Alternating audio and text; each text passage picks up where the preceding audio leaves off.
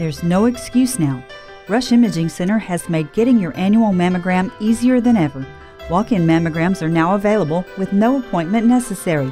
Please bring your health insurance card, the name of the facility where you last had your mammogram, and the name of your primary care provider. Walk-in mammogram service is available from 7:30 a.m. to 4:30 p.m. Monday through Thursday and 7:30 to 11:30 a.m. on Friday.